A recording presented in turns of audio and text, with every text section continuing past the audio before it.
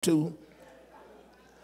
Uh, but research, research shows that failure is a necessary ingredient of success. A, a study conducted by Northwestern University analyzed 46 years worth of venture capital startup investments. And they found while not every failure leads to success, failure is a necessary step to everyone's success. So, so, so be, begin seeing your failures from a different perspective.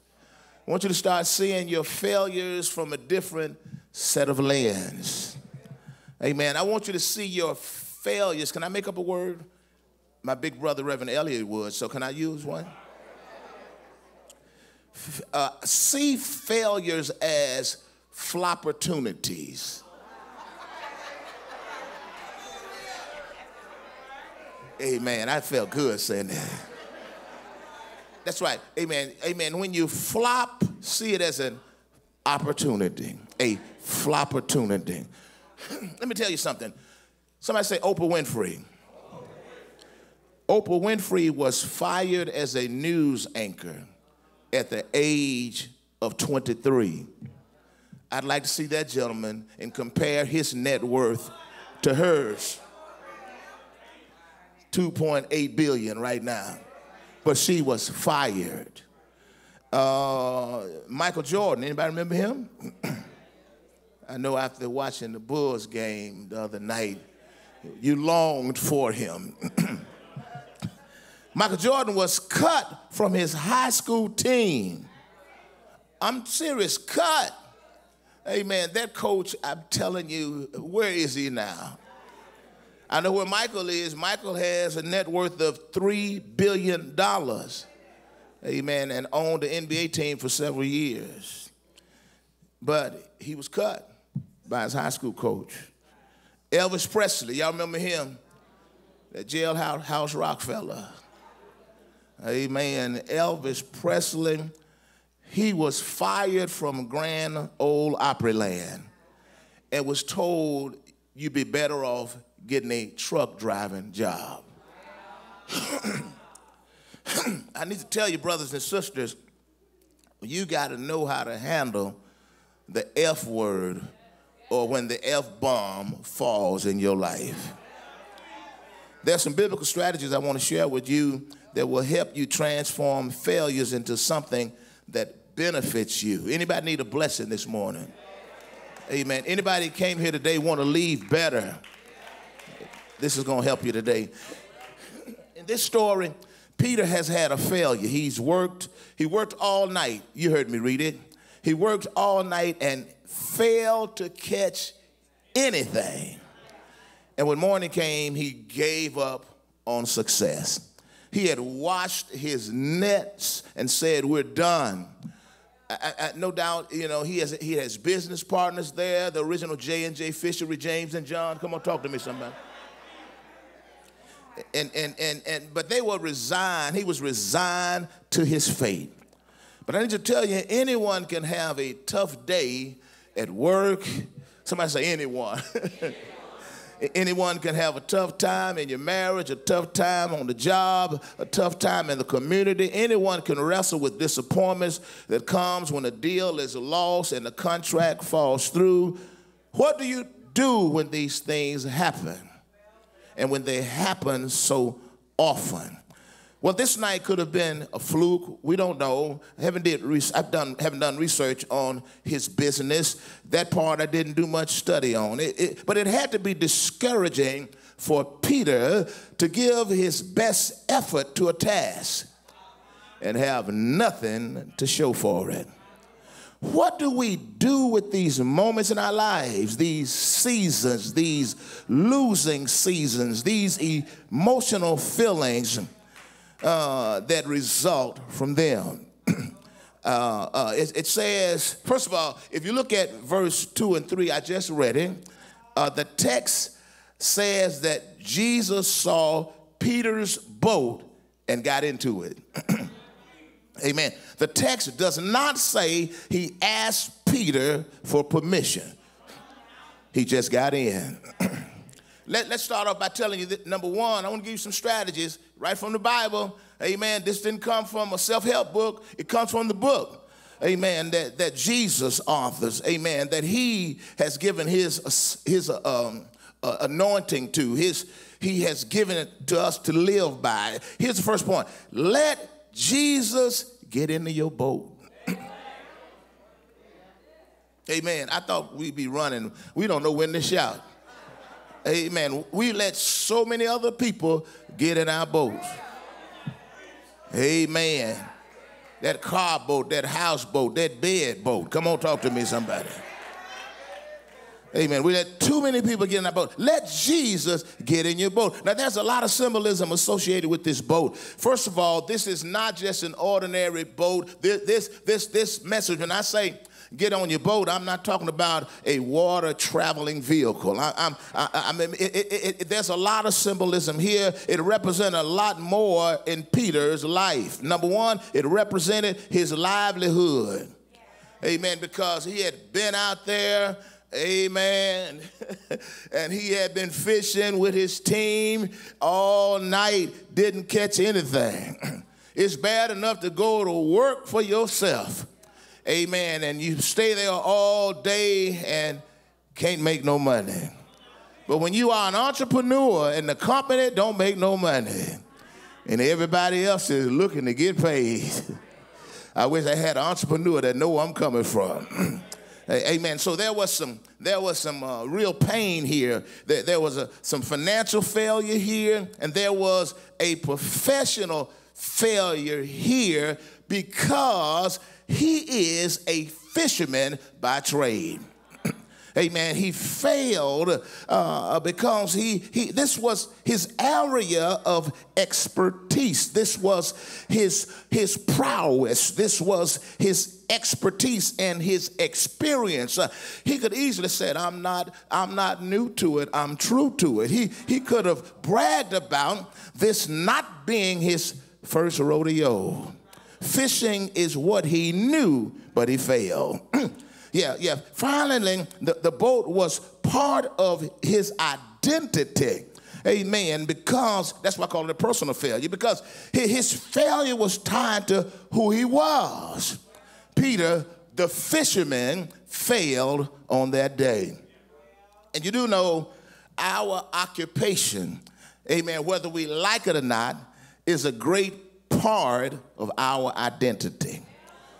Amen. And some people, no matter how much we uh, sing and get into worship and all that kind of stuff, uh, Mr. Jeffrey and, and, and, and, and Miss O, your students are going to just see you as the teacher.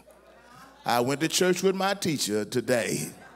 Our identity, amen. I, I remember in my first couple years of marriage, amen, going to my wife's Christmas party at General Motors. Amen. I just felt something. Yeah, I, I remember going there feeling some kind of way. Because I'm young, I'm young. I'm, I'm 23, 24 years old, and, and I'm sitting around there with all these accomplished people. And, and, and to me, it seemed like they were, they were bragging about their accomplishments. And it may not have been the case. It could have been just me, but they, they were talking about their jobs. I remember one of the white guys, one of the Italian guys said, so, Frank, what do you do? Oh, I have a, a I'm a chemist at a, a, a Quaker Oats, and that's what I do. And what do you do, uh, John? Well, um, I am the executive uh, manager for a corporation in the suburbs.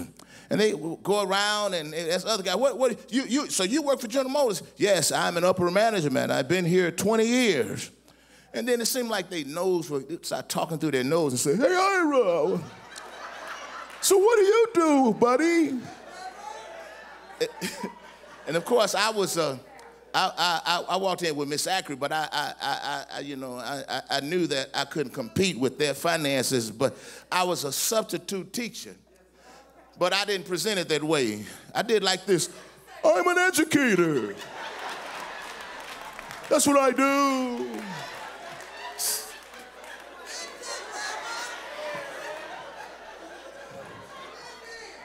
I would say that, and I would hope that they would soon leave me alone. and not make me feel like a failure. Amen. I was just getting started. Come on, talk to me somebody. Amen. Peter failed in three areas professionally, financially, and then personally. He felt bad. But but but even though he felt bad, amen, it, it's imperative, amen, that we learn some lessons from him. He welcomed Jesus on the boat. Amen. Tell your neighbor, welcome Jesus on the boat of your life. We, we must welcome his person, his passion, his precepts, his principles. We must welcome them. Amen. Let him into your boat. And then we got to, here's the second step. You ready for the second step? Amen. Uh, uh, are you ready for the second step? Are you ready for the second step? Okay, here it is. Let Jesus dictate your next steps. It's in the Bible. It's in the Bible. I'm not, I'm not making this up. I'm, I'm, I'm, not doing that today. Listen, it says, verse number four, when he had finished speaking, he said to Simon, Put out into deep water and let down the nets for a catch. Are y'all hearing me today? Master, we worked all day and all night and haven't caught nothing. You know who's talking, don't you? Peter! What, what do y'all know about Peter? Number one, he, he was like another preacher I know, not me. He was a cussing preacher. Yeah, Peter would cuss. Any Bible reason remember that? Okay, Peter, Peter, uh, he, he also would fight. But I like guy like Peter because he was protecting Jesus. Somebody was trying to, trying to pull up on Jesus, and, and, and Peter pulled out his piece and cut the guy's ear off. Anybody remember that? Wave, wave your hand remember that. So don't y'all sit up here and act like Peter was some saint. God just used him. I wish I had somebody yes, brothers and sisters, uh, we also see uh, that Peter, he, he, he, he said, Lord, uh, it, has it, been a long night. We've been out here. And uh, I, I could see him in my own imagination saying, I'm hungry. I'm tired. And I could see, because since Peter was outspoken, I know he was probably saying, and in case you smell somebody, it might be me. I've been out here all day and I'm already mad. But because you said so, woo, will let down the nets. So Peter clearly slightly pushed back initially, but he obeyed. Far too many of us have tried to do life our own way. But let's be honest, I know after Peter went through this, you can I could relate to Peter. I, I you know I I don't, you know I would never cuss like Peter. That's not me. Amen. Look this way. Look this way. Amen. But but but but I could relate to to Peter feeling bombed. He had been flustered and flabbergasted. He had to be drained, discouraged, and disappointed. But but but Peter's fatigue, his frustration, and his failure didn't allow him to shut out the voice of Jesus. Can I tell you something? I, I, I want you to pause. I, I'm going to stay here for a second if I don't get to the rest of this stuff. I want to tell you never allow your mood to dictate your movement. Who is that for? Amen, amen, amen. Don't be a prisoner of your emotions.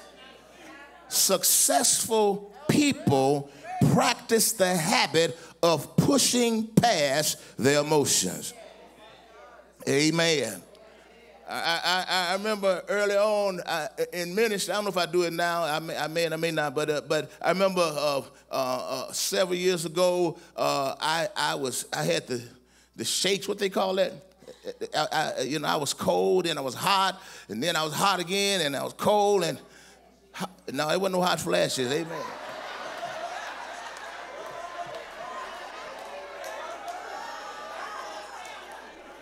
I almost said something. I had the chills. Amen. And and and I got received a call. Um, a member wanted me to go to the hospital to see somebody who was not even connected to the church. and uh, and I had to push past my emotions. I couldn't drive because I was aching. Deacon Toby Gross was a deacon at our church then. I called him. He's around the corner. I said, "Can you come get me? Because I know if I don't go, they will never forget it." He came and drove me to the hospital. And since then, that person don't even go to church. But nevertheless, I had to push past my emotion. Look at somebody and say, "That's life." You got to push past your emotions. I need to tell you today there is a danger in letting anyone on your boat during a crisis. You know, when you have a crisis, you, you can't afford to let anybody in your boat. Amen. Let me just say this. I was so inspired. Anybody, I, I didn't really, I didn't even watch the game, but I watched all of the, the, uh, the interviews afterwards. I was so inspired by the women's college coach, Coach Dawn Staley. Give her a big hand. Coach Dawn Staley. Coach Staley led the NCAA women's basketball to the championship. And she testified after her team won the college championship. She didn't care nothing about the cameras being rolled, and it looked like she said, Give it praise to God, honor to my pastor. She said, I can't go any further. She said that God allowed me to go back to the same place where I shed sad tears. And I come back and we get an opportunity to shed happy tears. Woo! Isn't that something? She said, see, we won in a place where we previously lost. In other words, I got a chance to experience some joy in a place that I was previously hurt. She said, It's only the God that I serve that can allow us to experience uncommon favor in the same place. Isn't that amazing for you to get blessed in the same place you were hurt? Can somebody scream today, Lord, I need a same place blessing? A blessing on that same job. A blessing in that same neighborhood. A blessing in the same church where you got your feelings hurt. The same place blessing.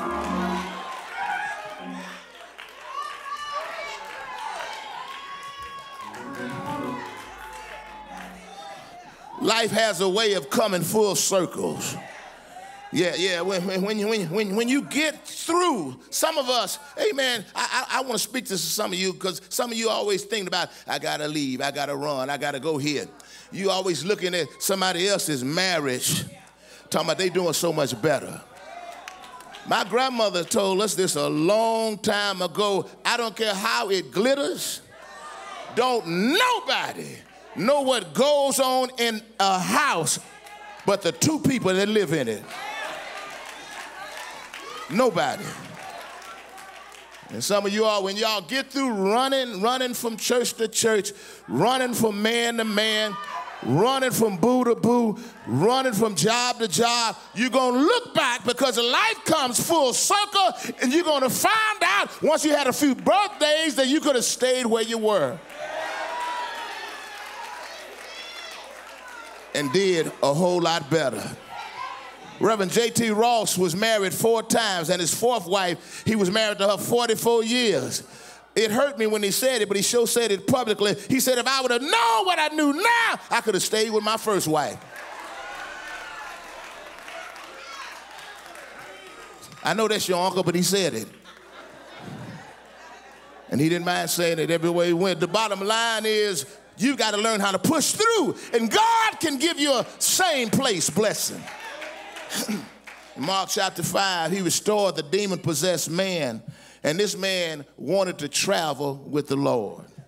This man, he said, Listen, I want to go with you. Man, you you you then came and turned my life upside down. You deprogrammed me from all these demonic spirits. I'm going with you. And some people thought that that would have been a good deal. And some people thought that he might as well go because it would give credibility to Jesus' message amen, that he's the savior of the world and he's, he's a miracle worker. Uh, but Jesus said, No, baby, brother, you go home. He said, You go back home to your old stumping ground. Amen. Your testimony has more value back home. It has more power back at your job where they know you. It has more power back in the neighborhood where you come from. It has more power. He said, because when we go on the road, these folk don't know you. Amen. But but when you go back home and to your job and to your community, they will they will know that you were toe up from the flow up. Your life was wrecked, and, and, and I touched you with my finger of love divine and got you rolling all over again. Look at this particular passage, Jesus gave Peter some orders. And you know, for a lot of seasoned fishermen, it would have been difficult for him to follow Jesus' orders. You know what Jesus did for a living? Jesus, his expertise was carpentry. How you gonna tell a fisherman about about fishing and you're a carpenter? I mean, it's just real talk now. Hey Amen. A lot of seasoned fishermen would have said, "Wait, wait, Big J, I, I know you, you, we know who you are, but fisherman is my business." Yeah, yeah. It, it required tremendous humility for Peter to listen to Jesus' instruction. Because number one, Peter knew how to catch fish. Peter knew the methodology. Peter knew the proper bait. He, he knew the best time of day to go, the best spots. But instead of arguing and dismissing Jesus altogether, he complied with Jesus' request. He said, I, I, don't understand it. It doesn't make any sense. But he said, But Lord, I'm taking you at your word. I don't know who I'm talking to today. This message is for a few of you. Amen. You need to realize that you are at a point in your life that you must obey God no matter what the cost. You may not understand it, but you have to get to the point where you say, Lord, I'm taking you at your word you can't lose, amen, when you take God at his word. Listen to the voice of the master and let him speak into your failure. But before I give you the third step, let me just, just whisper this. This ain't no step. I just want to tell you this. Amen. Put this in your knapsack, hold on to it, and be reminded that recovery is a process. Tell your neighbor, recovery is a process. Now, now find another neighbor that's not looking too mean. That was a mean, hey, hey, it's a process. Tell somebody else recovery is a process. I'm trying to get you to find a nice neighbor this morning. recovery is a process. Oh, yes, it is. You, you can't just flip the switch. You can't flip the switch. Unfortunately, that's how we're wired in this microwave era in which we live. We want everything done quick and in a hurry. Sometimes the blessing, the benefit, or the breakthrough comes quickly, but it usually takes time. Can you repeat after me? Because you just put it in the atmosphere because you need to remind yourself success takes time. Uh, y'all don't really believe that, do you? Amen. Many of us are looking for an overnight success. Even when you want your blessing to manifest, it takes time. It takes time for healing. It takes time to forgive. Somebody done you wrong, you don't just wake up tomorrow, oh, I forgive, praise the Lord. It takes time to forgive. It takes time to build a business. It takes time to grow. It takes time to push past that thing that was hard to get over. It takes time to really get to know each other in a marriage. You don't just wake up, amen, and just know people in six months, a year, two years. It takes time to know each other. Here's third step let others help you. I mean, for real now. Amen. Let others help you. Amen. Sometimes, unfortunately, when people who are wiser than us give us some tips and some nuggets and share wisdom, we find out that we really don't want to be helped if they're not saying what we want to hear. Let me drop this. People who rebound from failure are those who embrace, pursue, and are open to receiving help from others. Look at somebody telling me heavy on the help from others. Amen. Amen. Stop acting like you know everything when you're trying to accomplish your goals and pursue your dreams. Look closely at Peter. He didn't wait for others to see his need. You know, I used to be like that. I'm glad I outgrew that.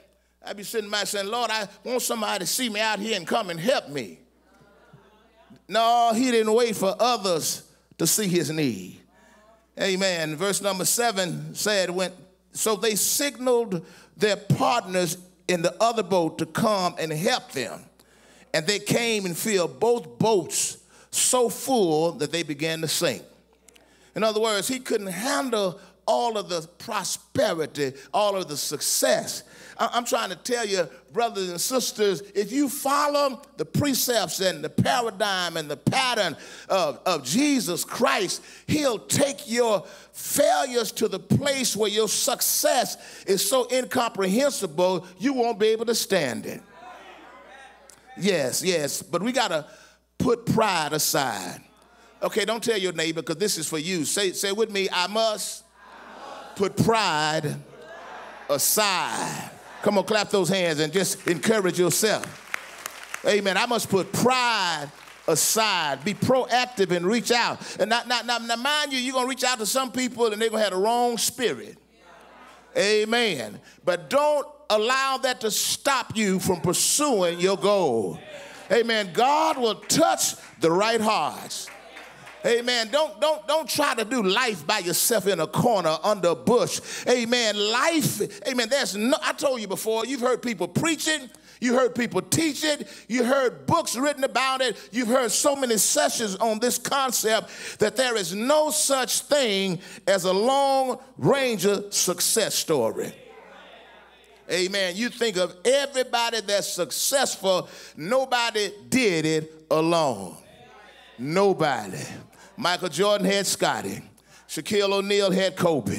I mean, well, I ain't got to go that far. Lone Ranger had Tonto. Amen.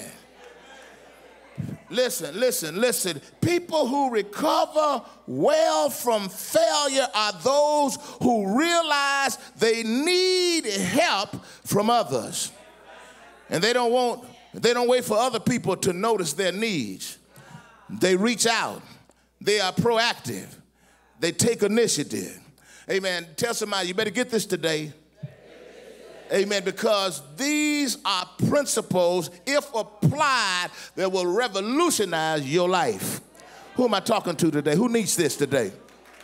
Who needs, who's ready to go another step higher? If you come to a church and, and you say, Well, I just come to give God some praise and to pay my offering, life is great. Amen. You can leave now. You should want to grow. You should want to glow. You should want to go to another level, to another dimension. Number five, learn to receive the blessing God wants to give us. When you, uh, thank you, coach. Thank you, Coach Staley when you experience that uncommon favor, it sometimes can be overwhelming. It can be hard to know how to deal with what comes your way. Uh, I, I don't know what Peter's past looked like, but, but I get the sense that there was something that needed to be dealt with. But here's the shout whatever his past may have been, at this point in his life, it did not matter. I don't know who I'm talking to this morning, somebody online, you may be in another city, but I need to tell you it does not matter what your past is because God is He's dispersing some, some, some incomprehensible grace today. God's grace, don't y'all make me holler this morning. God's grace gives us a clean slate to move forward. Ah, uh, you ought to speak life to somebody, tell somebody close to you it's time to move forward. You've been stagnant too long. You've been running in place too long. It's time to go to another dimension. You can't keep on going through sixth grade and you're 16. Uh, you got to go to another stratosphere. Today, I come against that spirit of being stuck in a rut. I come against it in the name of Jesus. That spirit of being stuck in a rut, stuck in a routine. All because of some negativity from your past. It's time to shake that mess. It's time to shake that madness. It's time to get up and get after that blessing God has for you. I need 20 people this morning. It's got to, this message got to be, be for at least 20 people. I need 20 people to say, Lord, I hear you. Lord, I'm taking you at your word. Lord. Anyone who has ever done great things for God uh, came to the place at some point where they really realized that, that it really wasn't about them anyway. It really wasn't about them. God used them in spite of them. Can I talk to somebody here today? Amen. Don't, don't you believe the hype when other people try to give the, the, the, the, the impression that they are scot free and sin free and never done anything. I need to tell you, God told me to tell you, ain't no angels on the planet Earth. Somebody need to hear this. Amen. It doesn't say, it doesn't say y'all have sinned. Romans 3 and 23 says, all have mercy, Lord, have sinned and come short of the glory of God. Peter knew that he was a mess. But but but but the Lord said, the master has has need of you. And he spoke a word to Peter, and Peter accepted his assignment. Oh, cussing Peter. Oh, fighting people. Peter. Oh, short tempered Peter. Uh, he, after wrestling with his feelings of unworthiness, he went for it. He believed that if Jesus uh, was calling him, he could follow where he was leading. Tell somebody it's time to go for it. Number five, let Jesus define your future. Amen. Don't let your failures define you. Let me tell you this failure is an event, not a person. I said again failure is an event, it's not a person. That failure was something you did, that's not who you are. Don't you ever forget that. Amen. Learn to, to see your past obstacles as present opportunities. Did you hear what I just said? Don't you make me run around this building again. See your past obstacles as present opportunities. Amen. The shame, I had to go through it. The embarrassment, I had to go through it. Being broke, I had to go through it. Being by myself, I had to go through it. Being hurt, I had to go through it because you were developing me for where you were getting ready to take me. My past obstacles prepared me for where you're getting ready to lead me.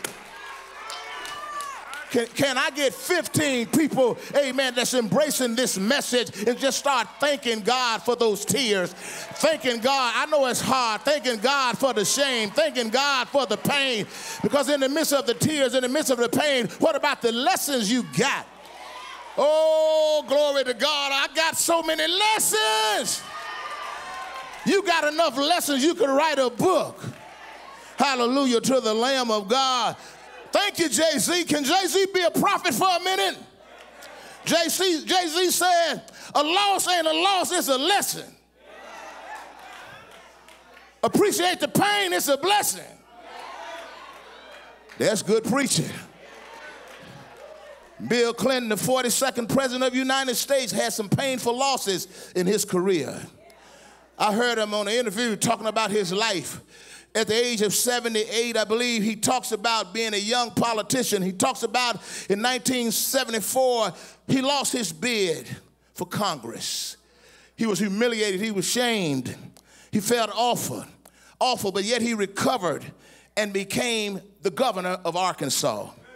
Arkansas's administration did not come without some frustration because the funny part about it is he lost in his bid to get reelected. Had to sit on the sideline four years to win back his office. Clinton believes that the losses prepared him for his successful presidential run. Sometimes you have to lose in order to win. I quote William Jefferson Clinton. He says, The defeat was good for me. He says, just like any other adversity in life, if you survive it, and come out of it, he said, if you survive it, you, you normally come out ahead. Anyone here with I survived it testimony? Amen. Anybody got I survived the testimony? Because if you survive it, you're stronger. If you came through it, you're better. If you overcame it, you are wiser. I, I don't know who this message is particularly for, but there's someone who desperately needs to hear this. And you need to liberate yourself.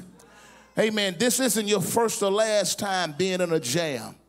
This is not your first or last time being stuck between a rock and a hard place. This is not your first or is it your last time of having your back up against the wall? This is not your first or last time coming into the church building, amen, with questions in your spirit and heaviness in your heart. But guess what? You're in good company. Amen. Because Peter was a good person to, to lift up today. Amen. Because Peter, if you look through the scripture, Peter, uh, we talk about this person did that house. Uh, David uh, uh, uh had a woman, had committed adultery. We could talk about how uh, Moses killed a man, and all everybody's life is stained. But Peter was corrected and checked at least 13 times in Scripture. Amen. The most popular one was when he denied, watch this, he denied Jesus and swore that he didn't know him. I mean, it's all right you deny, but you had to throw a cuss word in there. He, I, he probably said it worse than this, but he, but he is a disciple of Jesus Christ, and they asked him, Do you know him? And, and, and, and he said, I don't know him. He could have easily said, Hell no, I don't know him, get out of my way. The Bible tells us he cussed, but I believe he used worse words than that. He, he swore that he, that's the one that he's known for in Scripture. How about this? How about this? How about this? They were trying to bring children to Jesus, and he was acting like one of them overprotective armor bearers. Not, not, not, not like mine, but blocking the babies from Jesus. Jesus said, uh uh get back here. Suffer not the little children, let them come to me. That was Peter and his guys. Can I talk to somebody here today? Oh, yes, my brothers and sisters, he also rejected Jesus' gesture to wash his feet. Y'all hear me today? Jesus said, I want to wash your feet. I can hear the music playing, you know, like the Ten Commandments, all spiritual and stuff. And I can see Jesus walking, you know, real slow toward Peter. And then Peter gets some righteous indignation, so he said, Hey, hey, hey, Doc, you ain't gonna wash my feet. No, no, Jesus, you ain't gonna wash my feet. You the son, you, know, some people get off into all this old false humility, showing out. You the son of God, I ain't gonna let you wash my feet.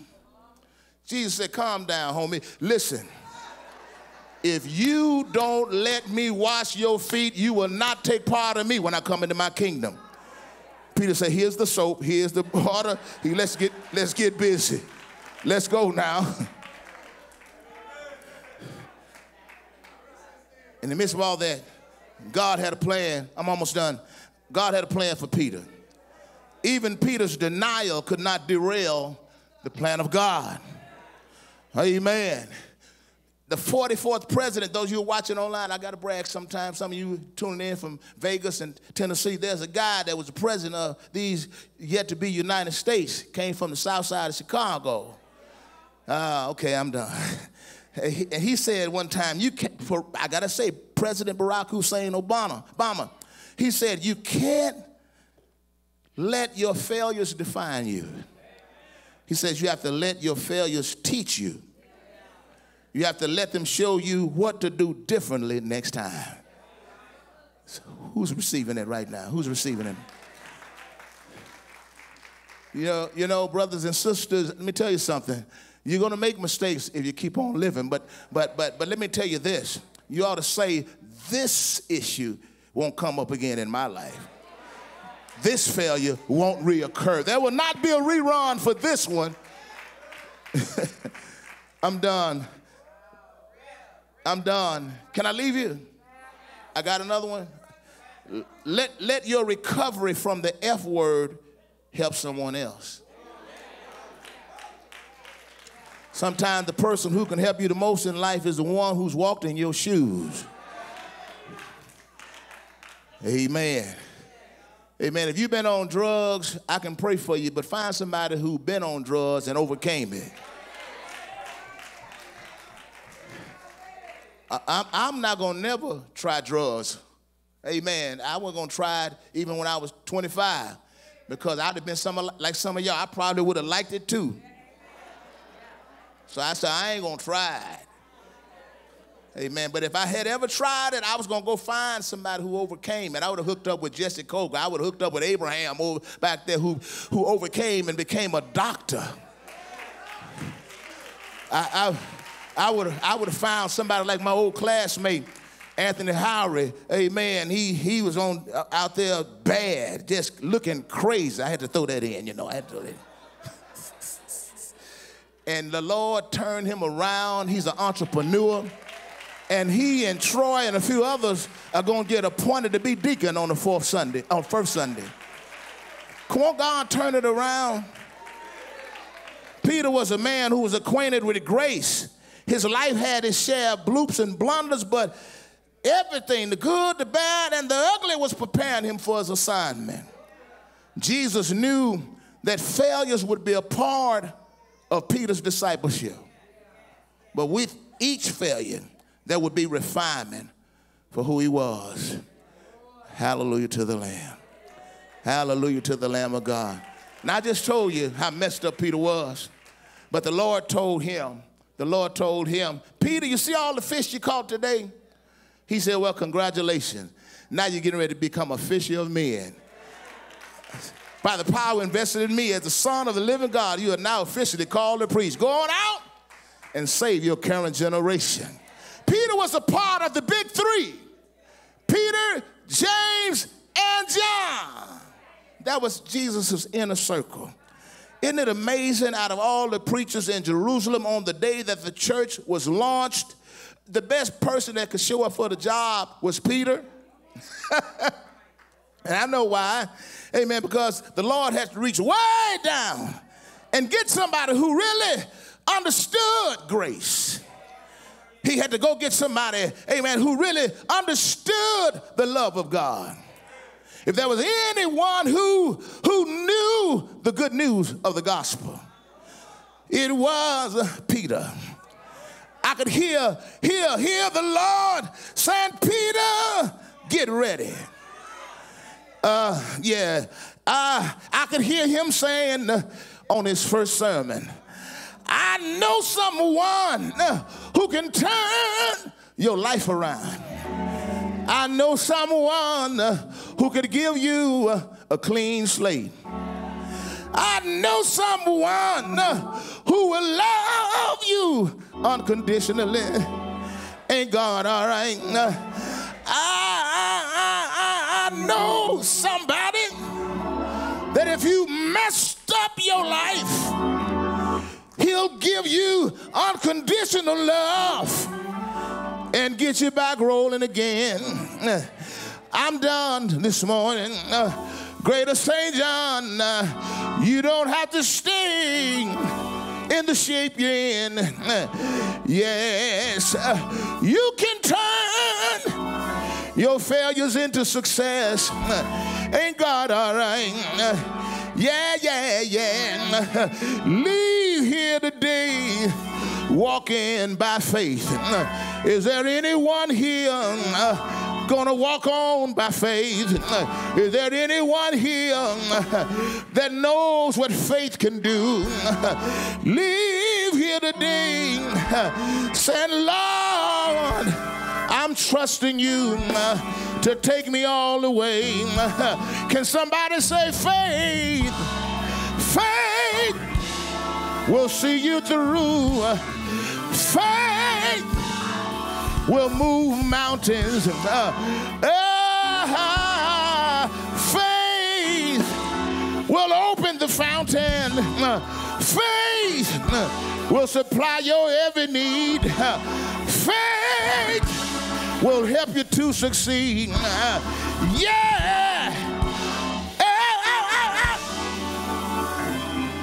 I'm sorry. This supposed to been a teaching message. But when I think about how he brought me through. When I think about how he made a way for me, I can't help.